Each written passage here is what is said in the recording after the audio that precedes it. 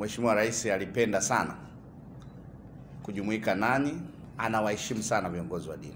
Mama Samia Suluhu anatosha, anaipeleka nchi safi, anaipeleka nchi katika uchumi mzuri. Na mimi pia niendelee kuhakikishia viongozi wa dini kwamba miezi sita hii ya Mheshimiwa Samia Suluhu Hassan nchi imetulia. Nchi ni salama, shughuli za serikali zinaenda vizuri. Maombi mnayoenda kuyafanya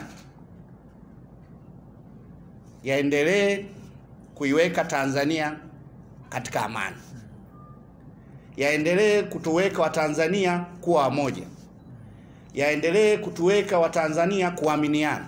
Na mimi naamini mkifanya maombi, imani, upendo na miujiza kutokea, kwa sababu mnamwombea, mimi naamini 2025 anachukua fomu tena na kugombea.